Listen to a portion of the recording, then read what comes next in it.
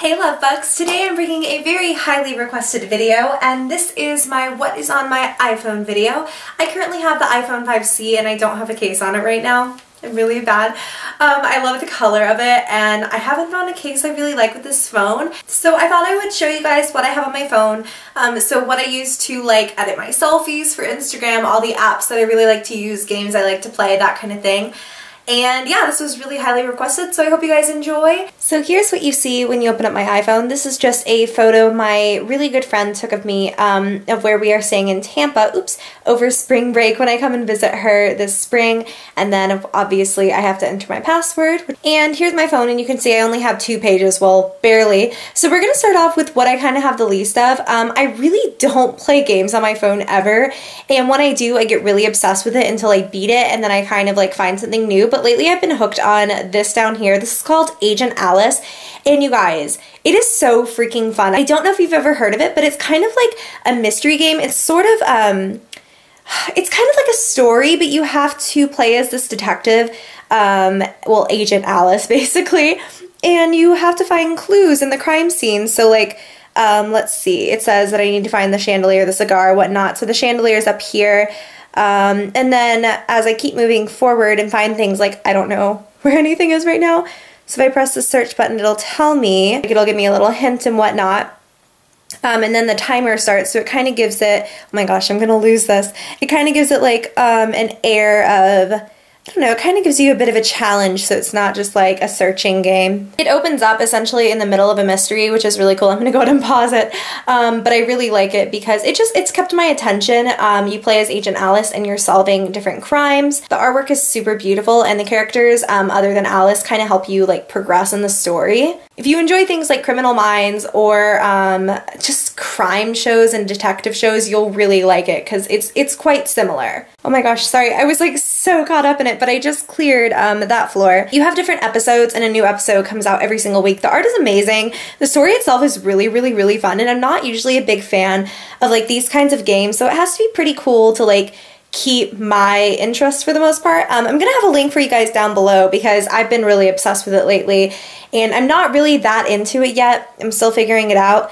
Um, oh my god, I gotta quit or else I'm just gonna keep playing, but I'll leave a link uh, down below for you guys to go and check it out. So obviously Agent Alice is the only game that I'm playing, so down here I have my Spotify app, my phone app, my emails, and Safari, and you're going to, I hope you're not one of those people who gets really annoyed by the notifications, because seriously, I never answer anything on my phone, apparently. Um, up here I have messages, um, calendar, photo, camera, weather, clock, maps, all the usual. Um, these are just things that I use regularly, but I wanted them in a folder because I didn't use them as regularly as everything else. So like um, voice memos, calculator, compass, notes, you get, you get the drill. And then down here is where it starts to get into the fun stuff. I have photography, and my favorite um, photo editing app of all time is VSCO Cam. You can see I'm obsessed, like absolutely freaking obsessed. Um, I'll show you how it works. Uh, just, I'm going to take this photo. And you have different filters down here, and you can adjust like how much of the filter that you have and add stuff like if you go over here um, you can change up the contrast. Uh, well, that, that was not the contrast. You can change up like the contrast and the brightness and whatnot. Or you can do like the uber cool um, fading kind of thing. You guys can't even see what I'm doing. So yeah, I really love this. It's my favorite photo editing app of all time. Then I have Facetune, which sometimes I use, um, sometimes I won't.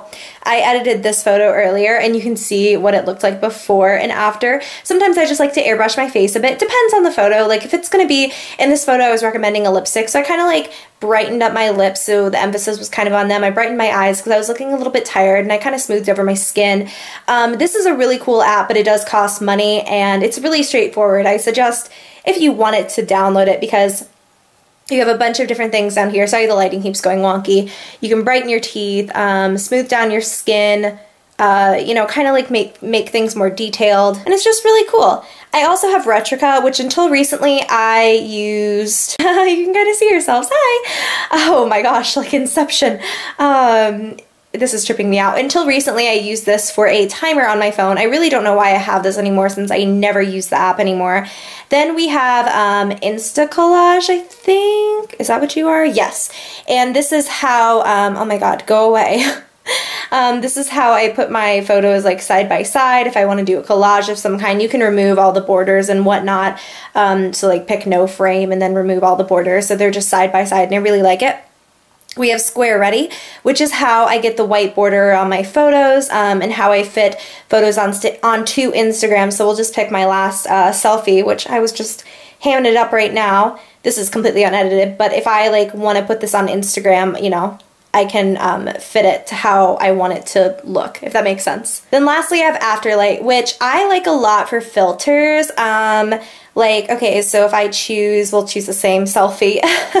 um, if I go into this photo, I really like how Afterlight can add um, the light leaks. So it has a bunch of different options um, of light, light leaks and stuff like that. So I don't use it all the time, but it is really fun when I want that. Then for social media, I have Instagram, Twitter, Snapchat, which I literally never use. Never. Um, I snap one of my friends from back home, and that's pretty much it. I have um, the YouTube Creator Studio, obviously. I have Facebook, YouTube, and Facebook Messenger, which again, I never use. Then I have some um, shopping apps I really like. I have Sephora, Starbucks. The, the, Sephora app is amazing. I like use this way too freaking much. Um, it's like my actual addiction. If it ever loads, yeah, you can just like shop on the app and it's so simple to place orders and stuff like that. So I love it. I also have Ulta and HauteLook, which is one of my favorites. Then for lifestyle, I have a bunch of things. I have FaceTime, which I almost never use, so I just stuck it in here. I have my bank, um, my Uber app, I have my PayPal app, my Weight Watchers app, and my StyleKick app, which is how I check in when I'm shopping and get points so I can get gift cards, and I use it constantly. I absolutely love it. Um, there's a link down below for like free points and stuff if you want to sign up through me. Then we have Audible, which is where I get audiobooks. I love it. I'm not affiliated with them. I just really enjoy it. I have my Bible app. Um, we have apps that I don't give a crap about and I never use. So these are all things I'm never really gonna look at. So I just kind of keep them in utilities. We have music and most of my music's on Spotify, so I never really play music through this app. All I have on here is like a few Landon Austin songs and like, oh, Bethany Mota's on here too, and like Taylor Swift and U2. U2, unfortunately. And then again, Spotify, phone, email, um, Safari. I'll go ahead and show you Spotify in case. Um, wait, no, my full name might be on it. Hang on. This is where I just listen to all my music. So I have a bunch of albums I've been listening to really recently. And it's a streaming app, but you can download music through it. And then on the second page, all I have is iBooks and podcasts, which I don't use that often, but I don't want to like, I don't know, if I ever want them, I'm usually like, I don't know, like in the bath or something, so I just thought they belonged on this page, but that is what is on my iPhone. So that was my what is on my iPhone video. I really hope you guys liked it. If you did, give me a thumbs up. Subscribe if you have not already, and until next time, I love you, and I will see you in the next video. Bye!